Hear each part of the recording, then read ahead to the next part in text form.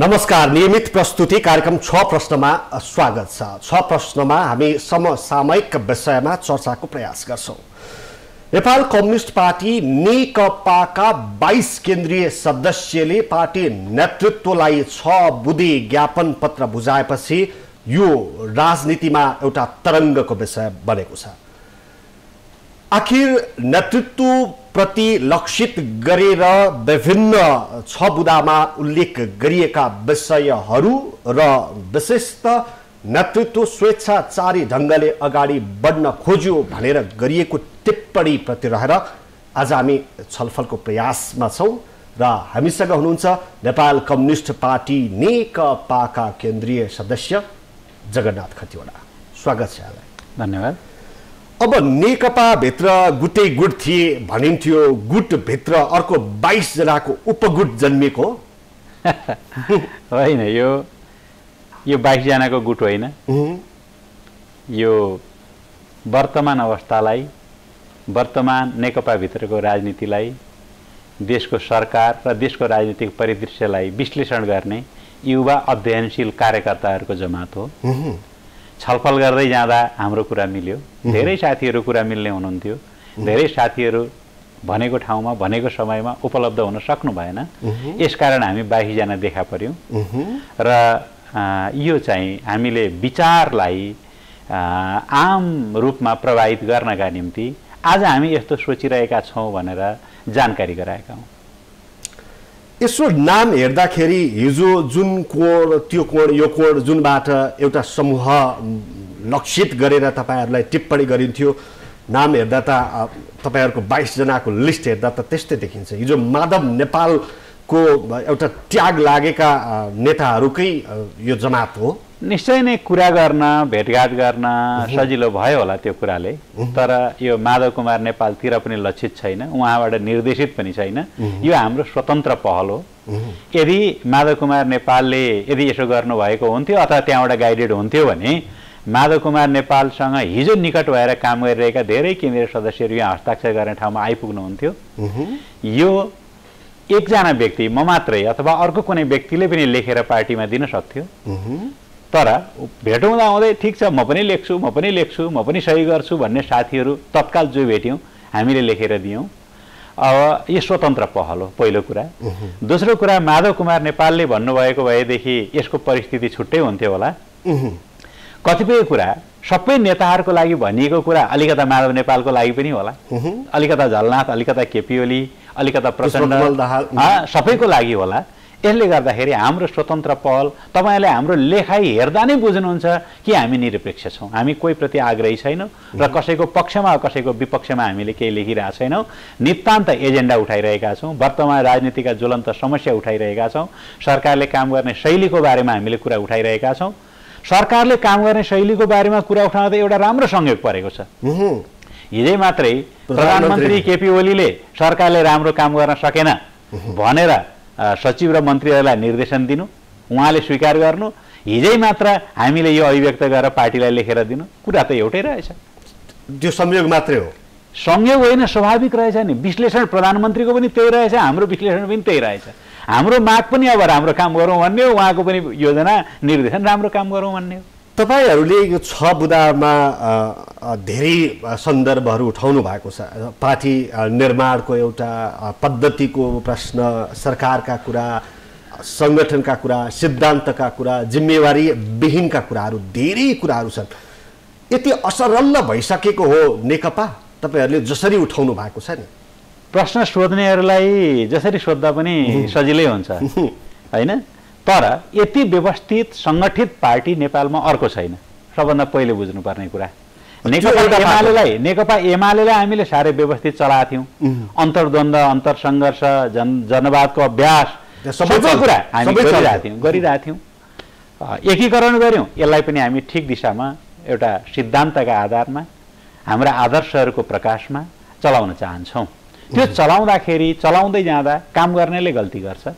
आजका हाम्रा प्रधानमन्त्री पार्टी अध्यक्षहरू काम गर्ने व्यक्तिहरू हुन् र उहाँहरूले गल्ती गर्न सक्नुहुन्छ कमजोरी हुनसक्छ राम्रो गरे भन्दा भन्दै पनि नराम्रो भइरहेको हुनसक्छ कार्यकर्ताका नेताका जनताका गिरबान्सेजहरू उनका असन्तुष्टिहरू उनका चित्त दुखाइहरू उहाँहरूले भ्याएर नभ्याएर सोचेर नसोचेर योजनाबद्ध ढङ्गले अथवा अरू कुनै ढङ्गले नसुनेको हुन सक्नुहुन्छ। हो के छ? जनता के बोलिरहेका छन्? कार्यकर्ता के सोचिरहेका छन्? कार्यकर्ताको आवाज के हो? उनीहरू के चाहन्छन्? आज मुलुकले खोजेको कुरा के हो र उहाँहरूले दिइरहेको डेलिभरी कस्तो छ? हो यसै कुराको ग्याप। यस्तो ग्याप छ भनेर हामीले त्यसमा प्रस्तुत गरेका छौँ। यो असरल्ल भएको होइन। यो असरल्ल हुने दिशातिर गइरहेको कुरालाई?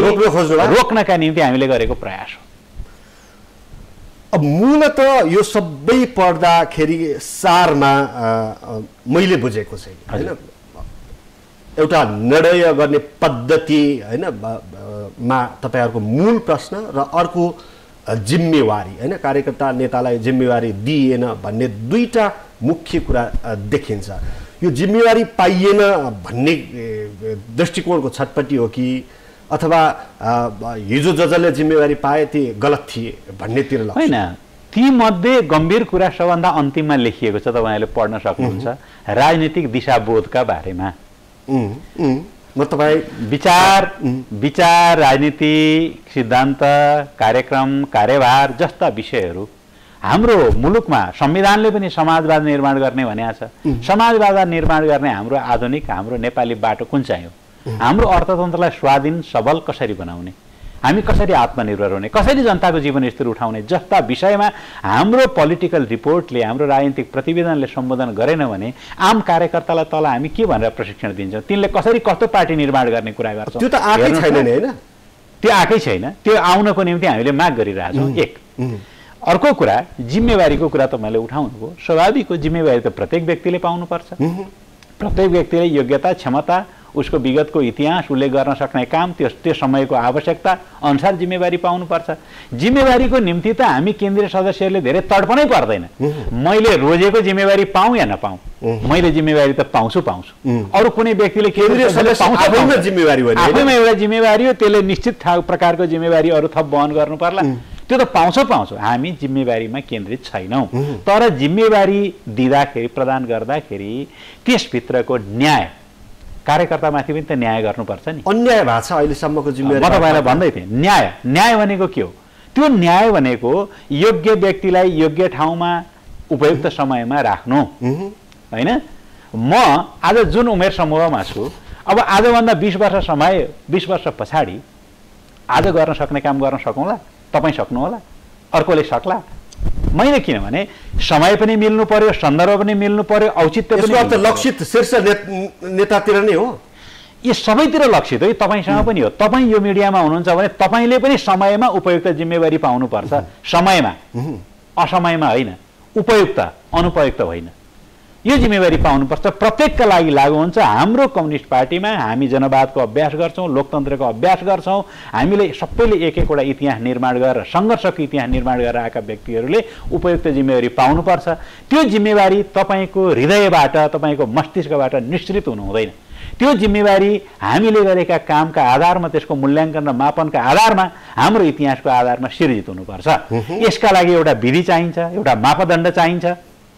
कार्यकर्ताको पङ्क्ति धेरै ठुलो भयो। ठुलो कार्यकर्ताको पङ्क्तिलाई हामीले निश्चित गोरेटोबाट हिँडाउनका निम्ति हामीलाई विधि विधान प्रक्रिया र पार्टी एकीकरणको प्रक्रिया नै एकातिर टुङ्गिसकेको छैन होइन? तल्लो तहका कार्यकर्ताहरू सङ्गठित समेत भइसकेका छैनन् तर तपाईँहरू होइन त्यो नसकिँदै जिम्मेवारी खोइ झन् राम्रो कुरा गर्नु हो नि। होइन? झन् राम्रो कुरा गर्नु हो। तपाईँले। आठ महिना त्यो टुङ्ग्याएर गर्नुपर्छ। आठ महिना हो त्यो सक्न सकेका छैन नसक्या किन? भने यही विधि पद्धति मापदण्ड बनाउन नसकेर नसकेको मापदण्डका आधारमा केन्द्रीय कमिटीले अथवा अहिले सचिवालयले स्थायी कमिटीले बैठक बसेर यो मापदण्डको आधारमा तपाईँहरू एकीकरण गर्नुहोस् यस मापदण्ड अनुसार कोही पर्छ भने पर्छ पर्दैन भने पर्दैन भएर दिएको भए त अस्ति नै सकिन्थ्यो नि। त्यो मापदण्ड बनाउँदा पनि त अब कति ठाउँमा त लागु नै भएन होइन? अभियान अगाडिको अगाडिको मापदण्डको सर्वस्वीकार्यता भएन? मापदण्ड विधि अन्तर्गत हुनु पर्यो नि। त्यो मापदण्ड बनाउँदा हामी यो विधिबाट जान्छौँ भन्नु पर्यो। अनि त्यो सर्वस्वीकार्य कसरी हुन्छ? तपाईँले आफ्नो खुसीले गरेर स्वीकार्य हुने कुरा भएन। मैले खुसीले हामी एउटा कमिटी प्रणालीबाट निर्णय गरेर त्यो निर्णयलाई एक आफैमा चिज स्वीकार्य हुनु पर्यो। तपाईँको अर्थ। अहिलेसम्म नेकपाले गरेका निर्णयहरू त्यो जिम्मेवारीका कुरामा एकीकरणका कुरामा सबै कुरामा त्यो पद्धतिगत ढङ्गले भएन भन्ने हो। सही हो। पद्धतिगत ढङ्गले भएन। गरिएका कामहरू केही दोहोरो मापदण्डका अन्तर्गत पनि हुन पुगे। एउटै कुरा एकजनालाई लागु हुने अर्कोलाई लागु नहुने जस्तो पनि बन्न पुगे। सही ढङ्गले मूल्याङ्कन गर्ने दिशातिर भन्दा स्वेच्छाचारी ढङ्गले मन खुसी ढङ्गले पो चल्न लाग्यो कि भन्ने डर हुन थाल्यो आम कार्यकर्ताहरू निराश हुन थाले। हो त्यो निराशालाई आशामा रूपान्तरण गर्नको निम्ति हामी पार्टीका केन्द्रीय सदस्यहरूले देखेको कुरा बोल्नुपर्छ सही सुझाव दिनुपर्छ भनेर एउटा कोसिस गरेको। अब यसले आशाको सञ्चार गर्छ कि गर्दैन? त्यो चाहिँ तपाईँहरू बुझ्नु होला तर यसले एउटा निराशा पनि त दिन सक्छ। होइन? बल्ल बल्ल बन्न लागेको नेकपा भित्र होइन? अब सचिवालयमै तिन तिन नेताको तिनवटा गुट बन्यो अरे होइन? भने त्यही रूपमा अभ्यास तलसम्म आउन लागेको हो कि भन्ने कुराले त आम कार्यकर्ता आजको- नेकपाका शुभेच्छुक समर्थक मतदाता त निराश हुन सक्छन् आजको नेकपा राजनीतिक आफ्नो सङ्गठनात्मक प्रक्रियाका हिसाबले सङ्क्रमणकालकै अवस्थामा छ। हामी त एकीकरणको प्रोसेसमै छौँ। हो त्यो एकीकरणको प्रोसेसलाई सबभन्दा सजिलो पार्न सबभन्दा पारदर्शी पार्न र सबै व्यक्तिहरूले हामीलाई धेर थोर न्याय परेको छ। अन्याय गरिएको छैन। सबैलाई एउटै प्रकारले दिन सकिँदैन। तर एभरेजमा औसतमा यो बनाएको मापदण्ड ठिक छ यो प्रक्रिया ठिक छ भन्ने स्वीकार्यता नै सर्वस्वीकार्यता र आम स्वीकार्यता हो। त्यो आम स्वीकार्यतालाई एउटा विधि प्रक्रियाबाट निर्णय गरेर तपाईँले तल पठाउनुहोस्। त्यसले बढीभन्दा बढी कार्यकर्तालाई सन्तुष्टि प्रदान गर्न सक्छ भनेर हामीले त्यहाँ प्रश्न लेखेकै छौँ। किन यो भएन त? केले रोक्यो? त्यही किन भएन भन्ने कुराको जानकारी अब यो पढिसकेपछि उहाँहरूले बुझ्नुहुन्छ यस कारण भयो तपाईँहरूको यो बुझाइ यति यति लेखाइसम्म चाहिँ के कारणले रोकेको छ? त्यो रोकिएको कुरा चाहिँ अब हाम्रो पार्टीको शीर्ष नेतृत्व सचिवालय अहिले त सर्व- सर्वाधिकार सम्पन्न सचिवालय छ। सचिवालयका प्रत्येक नेताहरूलाई हामीले उठाएको विषयले छोएको हुनुपर्छ। विश्लेषण गरेको हुनुपर्छ उहाँहरू विश्लेषण गर्न सक्ने व्यक्ति हो। आफ्ना निजी आग्रहका कारणले अथवा आफ्नो सानो कुनै समूह स्वार्थका कारणले सम्बन्धका कारणले या नातावाद कृपावाद कुनै वादका कारणले यदि यसलाई डिरेल गरिरहनु भएको रहेछ भने बाइस केन्द्रीय सदस्यले त उठाए। यो बाइस होइन यो एजेन्डा दुई सय बिसको पनि हुनसक्छ चार सय एकचालिसमा दुई सय बिसजनाले पनि यस्तै हस्ताक्षर गरेर दिन सक्छन्। त्यसकारण हामी ठिक बाटोमा हिँड्नुपर्छ भन्ने कार्यकर्ताको तर्फबाट नेताहरूलाई सुझाव बन्नुहोस् खबरदारी भन्नुहोस् हो त्यसैको अभिव्यक्तिको रूपमा यहाँ आएको छ। यसकारण नेताले यो गल्ती गर्नु भएर आज मैले भन्दा पनि नेताहरू कृपया यो पढ्नुहोस् भन्छु। उहाँहरूले चाहिँ अब एक दिन त बित्यो। यो बिचमा कतिको महसुस गर्नुभयो? होइन उहाँहरू अब सचिवालयको बैठकमा पनि हुनुहुन्छ।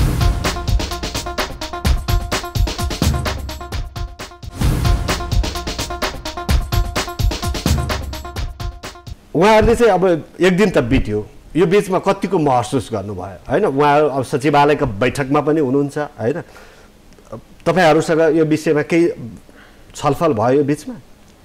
अब हामीसँग त त्यो छलफल भएकै छैन। तपाईँहरूले सुरुमै लेख्नु भएको छ नेताहरूले समय होइन यो यो ज्ञापन पत्र बुझाउने जुन कसरत तपाईँहरूले गर्नुभयो त्यसमा पनि समय पाएन अध- अध्यक्षज्यूहरूलाई नै दिन खोज्नु भएको थियो भन्ने धेरै कुराहरू होइन आइरहेको छ। अध्यक्षहरूसँग हामीले समय माग्यौँ। उहाँहरूको कार्यव्यस्तताले समय दिन सक्नु भएन होला। पार्टीको एउटा प्रक्रिया अन्तर्गत फर्मल ठाउँमा महासचिव। यसमा हामीलाई तलमाथि दिन नदिए समय नपाएकोमा कुनै ठुलो। प्रतिक्रिया स्वरूप चाहिँ के प्राप्त भयो तपाईँहरू बिच? होइन यसको प्रतिक्रिया स्वरूप चाहिँ देशभरिका हजारौँ हजार कार्यकर्ताहरूले जिल्ला जिल्लाका जिल्ला अध्यक्ष पुरा नेताहरू केन्द्रीय सदस्यहरू पोलिट ब्युरो र स्थायी कमिटीका सदस्यहरू समेतले तपाईँहरूले एकदम जायज एजेन्डा उठाउनु भएको छ। त्यो एउटा एउटा तत्कालै कि सिङ्गो नेकपा होइन यो त तब्का भन्ने कुरा हुँदैन। प्रत्येक व्यक्तिलाई स्याम्पलिङ गर्न हामीले त्यसो गरिरहेको छैनौँ नि हामी त्यहाँ तल गएर घरधुरी नापेर व्यक्ति व्यक्ति नापेर त्यो छानेर त्यसलाई चाहिँ क्वेसनर पठाइरहेको छैनौँ नि। जसले हामीसँग सम्पर्क गरिरहेछ उसले के भनिरहेछ भनेदेखि एजेन्डाहरू बिल्कुल ठिक छन् पार्टी नेतृत्वले सोच्नुपर्छ यस विषयमा भनिरहेछ। हामी चाहिँ एकदमै उत्साही छौँ किन कार्यकर्ताहरूले एकदम राम्रो अर्को कोड पनि छ नि त अर्को पङ्क्ति पनि छ नि त यो सही भएन। छैन। छैन। एजेन्डा बारेमा आजै पनि मेरो धेरै साथीहरूसँग छलफल हो। एजेन्डा बारेमा कसैको पनि विमति छैन। प्रक्रियाका बारेमा? होइन। नेतृत्वका सीमित कोही व्यक्तिहरूलाई अलिकता तलमाथि लागेको होला। तर एजेन्डा जे उठाइरहेको छ बिल्कुल ठिक उठाउनु भएको छ भनेर सबैले भन्नुभएको छ। एजेन्डा नै खराब छ भनेर भन्ने आजसम्म मैले न स्थायी कमिटीमा न सचिवालयमा कसैलाई पनि हिजोदेखि आजसम्मको यो चौबिस घन्टाको बिचमा कसैलाई पनि देखाएको छैन। त्यत्तिकै डिसमिस हुने सम्भावना छैन त्यसो भए। यो एजेन्डा त डिसमिस हुने होइन कि यो एजेन्डा त कालजयी एजेन्डा हो। यो आज होइन। आउँदो महाधिवेशन वर्षौँ वर्षसम्म दसौँ वर्षसम्म पनि यही विधिबाट पार्टीको निर्णयलाई सर्वोपरि मानेर अगाडि बढ्ने विधिमा पक्रेन भने त कम्युनिस्ट पार्टी बाँच्नै सक्दैन। त्यस कारण यो कालजयी एजेन्डा हामीले उठाइरहेछौँ या आजको मात्रै होइन हामीले आज जानेर आज उत्तेजनाले उठाएको पनि होइन। विगत पचासौँ साठी वर्ष अगाडिको लामो कम्युनिस्ट आन्दोलनको इतिहासबाट हामीले अभ्यास गरेका विषयहरू हो ती विषयहरूको आधारमा हामीले प्राप्त गरेको ज्ञान अनुभवका आधारमा राखिएका विषय हुन्। त्यसकारण यो एजेन्डा कालजयी हुनेछ र यही एजेन्डा अन्तर्गत उहाँहरू जानु भएन भने पार्टी राम्रो चल्न सक्दैन भन्ने कुरा उहाँहरूले पनि बुझ्नु भएको छ। यसको अर्थ यी तपाईँहरूका माग अथवा एजेन्डा सम्बोधन हुन्छन् भन्ने विश्वासमा नहुनै पर्ने कारण छैन। यदि मनभित्र सच्चा हृदयले म असल कम्युनिस्ट पार्टी नेपालमा व्यवस्थित गर्न लागिरहेको छु म यो कम्युनिस्ट आन्दोलनकै शीर्ष धरोहरको रूपमा बसिरहेको छु भन्ने कोही पनि व्यक्तिलाई लाग्छ। र म यो आन्दोलनभित्र समाहित भएको एउटा यस्तो यस्तो युनिट हुँ जसले सारा सामाजिक रूपान्तरको काम पुरा गर्नु छ भन्ने जिम्मेवारी बोध गर्छ। ती प्रत्येक व्यक्तिलाई हाम्रा कुराहरू नसुनिकन त सुखै छैन। सुनिएन भने? सुनिएन भने जसले सुनेन उसले गल्ती गर्नेछ। त्यति मात्रै?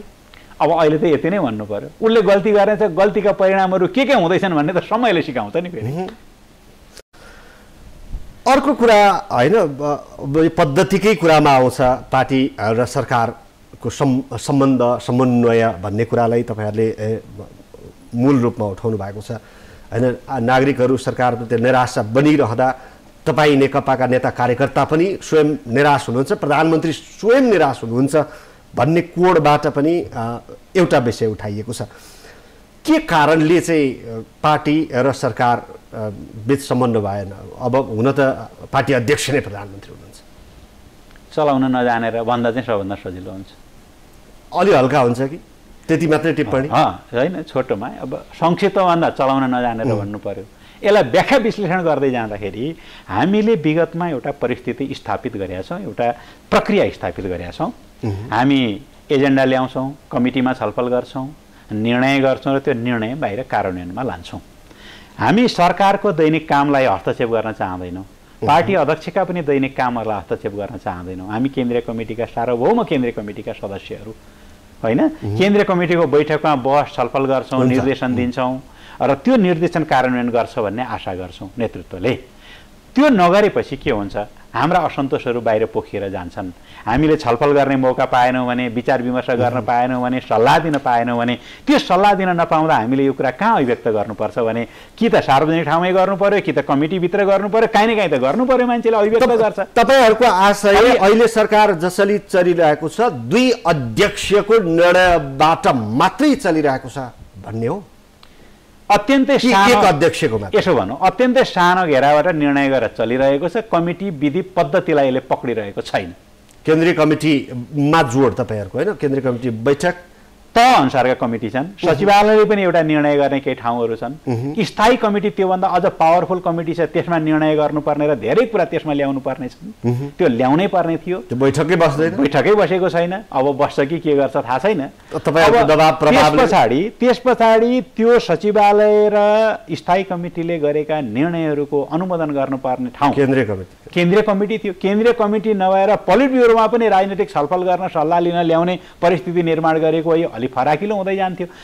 निर्णय गर्ने प्रक्रियामा सहभागीहरूको सङ्ख्यालाई फराकिलो विस्तारित गर्दै गयो भने निर्णयमा अपनत्व पनि बढ्छ र उनीहरूले त्यसलाई डिफेन्ड पनि गर्न थाल्छन्। अब एक व्यक्तिले एउटा निर्णय गरिदिनुहुन्छ अनि सारा कार्यकर्ता करोडौँ मानिसहरूले त्यसलाई डिफेन्ड गर्ने कुरा चाहिँ त्यति राम्रो सम्भव शपथ लिएपछि केन्द्रीय सदस्यका रूपमा तपाईँले बैठकमा भाग लिनु पाउनु भएको छैन एकचोटि अँ बासेन त्यही शपथ गर्न चाहिँ बैठक बस्यो। त्यस पछाडि बैठकमा भाग लिनु पहिलो बैठक र अहिलेसम्मको अन्तिम बैठक त्यही हो। अझ छोटो छोटो समयमा बस्ने स्थायी कमिटी नै बैठक बसिरहेको छैन। पोलिट ब्युरो गठनै भएको छैन होइन?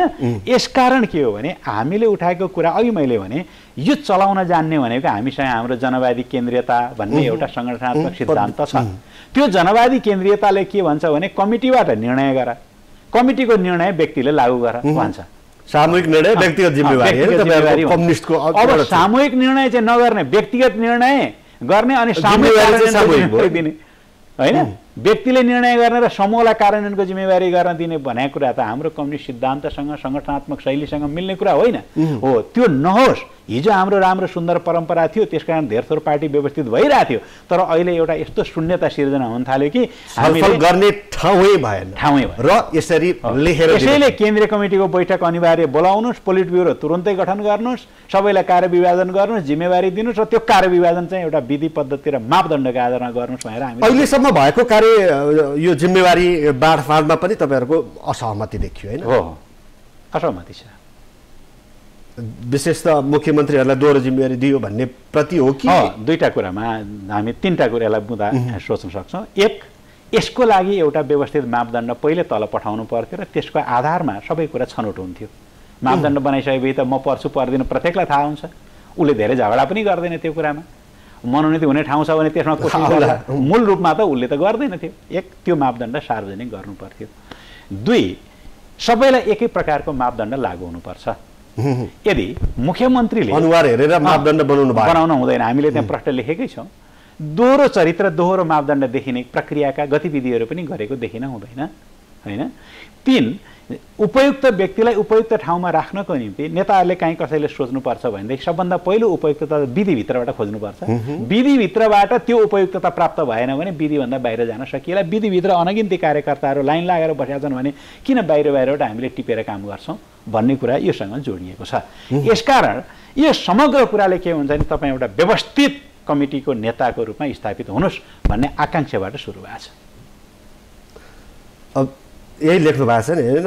अन्य पदमा पनि मनलाग्दी गरिएको छ सन्तुलन मिलाउने काम गरिएको छैन भन्ने कुरामा मेरो आँखा पुग्यो। सन्तुलन मिलाउने काम भनेको हिजोको गुटगत सन्तुलन? के के चाहिँ सन्तुलन? एउटा भन्छ unity of time unity of action unity of place भन्छ नि। उपयुक्त ठाउँमा उपयुक्त व्यक्तिलाई उपयुक्त जिम्मेवारी। होइन त? त्यो उपयुक्त व्यक्तिलाई उपयुक्त जिम्मेवारी दिने कुरा होइन? हो यही हो यो जिम्मेवारीको सन्तुलन कि समूहगत सन्तुलन? होइन तपाईँ पोलिटिक्स हो त्यो पनि हुनसक्छ। त्यसलाई पनि दिमागमा राख्न सकिन्छ। तपाईँ एउटा कुनै पावर शक्तिको रूपमा कोही स्थापित भइरहेको कुनै संस्था कुनै व्यक्ति कुनै समूहलाई तपाईँ इग्नोर गरेर जान सक्नुहुन्न। पोलिटिक्समा त यी सबै कुरा मिलाउनु पर्छ र पोलिटिक्स हो त्यो। होइन त्यहीँभित्र सन्तुलन खोज्नुपर्छ। त्यसको पनि एउटा ठाउँ होला। तर मुख्य कुरा उपयुक्त व्यक्तिलाई उपयुक्त ठाउँमा उपयुक्त समयमा जिम्मेवारी दिने कुरा चाहिँ सबभन्दा महत्त्वपूर्ण सन्तुलन हो। अब यसभित्र पार्टीभित्र भएला तपाईँले अघि नै उठाउनु भयो कि गुटबन्दी छ तनाव छ समूह छ उपसमूह छ ती प्रत्येक व्यक्ति निर्माण गरेर एउटै पार्टी त बनाइरहेछन् अलग अलग पार्टी त बनाएको छैनन् तिनले अहिलेको नेकपा नै बनाइरहेछन् यसैलाई बलियो बनाउन लागिरहेछन् यसैका लागि ज्यान फालेर लागेका छन् पचासौँ वर्ष यसैमा योगदान गरिसके भने ती प्रत्येक व्यक्तिको त्यहाँ उपयुक्त स्थान छ।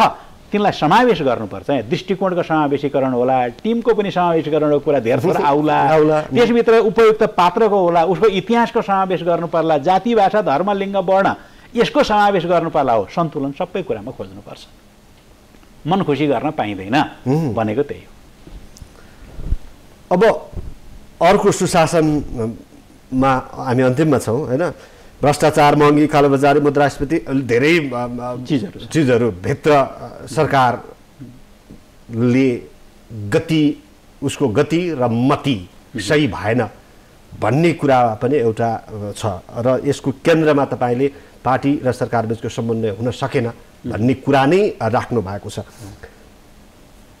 कहिलेसम्म अथवा यसलाई सच्याउने विधि तपाईँले भने जस्तो त होला तर त्यति सजिलै यो सचिएला दुईवटा पदावलीलाई तपाईँले विशेष ढङ्गले जोड दिन जायज लाग्छ मलाई त्यहाँ उपयुक्त होला। पहिलो कुरा सरकारले अथवा पार्टीले गरेका राम्रा कामहरूको अत्यन्तै गौरवपूर्ण स्वरमा प्रशंसा गर्न हामीले पाउनु पर्यो। हामी गर्न तयार छौँ। भनेका छौँ एक। अर्को कुरा गलत कामहरूलाई निर्ममतापूर्वक आलोचना गर्न र समीक्षा गर्न तयार हुनुपर्छ भनेर लेखेका छौँ दुई। यो एउटा पदावली भने। अर्को पदावली म तपाईँलाई त्यहाँ देखाउँ। त्यहाँ के लेखिएको छ भने हामी सरकारले पूर्वाधार निर्माण गर्ने आदि जस्ता दीर्घकालीन हितका विषयमा अत्यन्तै राम्रो भए। तापनि सुशासनको क्षेत्रमा सरकार कमजोर भयो आलोचना बढी भयो राम्रा कामभन्दा आलोचनाको चाङ बढी भयो भनेर लेखाएको होइन? यसको अर्थ हो राम्रो कामको सुरुवात पनि गरेका छ। तर त्योभन्दा बढी सुशासनका कारणले दैनिक जीवनमा जनताले जुन सुख सुविधा सन्तोषको अनुभव गर्न सकेनन् त्यो कारणले आलोचना सबभन्दा बढ्या छ। भनेर लेखिएको छ। जुन कुरा प्रधानमन्त्रीको भाषा र हाम्रो भाषा टक्कै। मिल्यो। अन्तिममा आए नेकपा वैचारिक प्रश्नहरूमा तदर्थवादमा चलिरहेको छ। हुन त अब विचारका कुरा तपाईँहरूले महाधिवेशनसम्मका लागि सबै विचारहरूलाई खुला छोडिदिया भन्नुहोस् अथवा बन्द गरिदिया भन्नुहोस्। होइन?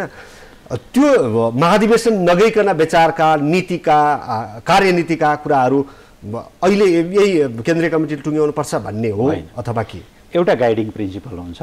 हामीले राजनीतिक प्रतिवेदन तयार गर्नको निम्ति हाम्रा पार्टीका शीर्ष नेता दुई अध्यक्षहरूलाई जिम्मा लगाएर कमिटीको बैठकले निर्णय पनि गर्यो सचिवालय है? त्यो आएन। त्यो आज धेरै महिना भइसक्यो आएन। अहिले तल मान्छेले हामीलाई सोध्छ मानौ। फलानु फलानु राजनीतिक दललाई हेर्ने हाम्रो दृष्टिकोण के हो? दृष्टिकोण के हो भनेर सोध्छ। अँ तपाईँहरूको यो समाजवादी चाहिँ जनवादी क्रान्ति सम्पन्न भयो। यो समाजवाद निर्माण गर्ने तपाईँहरूको प्रस्थान बिन्दु कहाँबाट सुरु हुन्छ? तपाईँको आर्थिक नीति के हो? अहिलेको नव उदारवादी अर्थनीति नै हो कि? अर्को कुनै नयाँ छ कि? यो राज्य सम्पत्तिहरू तपाईँले कसरी परिचालन गर्नुहुन्छ? आत्मनिर्भर कसरी बन्नुहुन्छ? कुरा समाजवादको। कसरी बढाउनुहुन्छ? आयात कसरी घटाउनुहुन्छ? तपाईँ पार्टीको खास भर्सन चाहिँ के हो हेरौँ न भन्छ नि अर्काले। तपाईँ तिन खम्बे अर्थतन्त्र भन्नुभयो अब खम्बा तिनवटा हो कि दुईवटा हो कहाँनिर लेख्नु भएको छ तपाईँले लो न पार्टीको आधिकारिक नीति। चाहियो। थरी थरीका व्यक्तिहरूले सांस्कृतिक नीति भन्ला आर्थिक। नीति भन्ला यी सबै नीतिहरूको बारेमा आज हामी दुईटा पार्टी एकीकरण गर्दैछौँ गरिसक्यौँ टाउको मात्रै गऱ्यौँ तल सबै अङ्ग एकीकरण गर्न? बाँकी छ त्यस कारण तपाईँहरू चुप लाग्नुहोस् है हाम्रो नीति छैन भन्न मिल्छ र हाम्रो नीति छ भन्नका निम्ति त नेताहरूले ड्राफ्ट मात्रै एउटा एउटा बुँदा मात्रै भयो भने हामी व्याख्या गरौँला नि तल। त्यो चिज आउनु पर्यो। त्यो आएन भने हामी तदर्थवादमा शून्यतामा चल्छौँ। शून्यतामा चल्यो भने अराजकता बढी हुन्छ। अराजकता जहाँ बढी हुन्छ त्यहाँ सङ्गठन पनि समाप्त हुन्छ विचार पनि समाप्त हुन्छ। हस् यहाँलाई धेरै धेरै धन्यवाद। धन्यवाद। दर्शकहरू नियमित प्रस्तुति कार्यक्रम छ प्रश्नमा। नेकपाका बाइस केन्द्रीय सदस्यले नेतृत्वलाई बुझाएको ज्ञापन पत्रले ल्याएका तरङ्ग बीच नेकपाका केन्द्रीय सदस्य जगन्नाथ खतिवडासँग कुराकानी गऱ्यौँ आजलाई छ प्रश्नको निर्धारित समय सकिएको छ। भोलि अर्को श्रृङ्खलामा अर्को खास विषयका साथ प्रस्तुत हुनेछौँ। हामी निरन्तर न्युजमा छौँ। नमस्ते।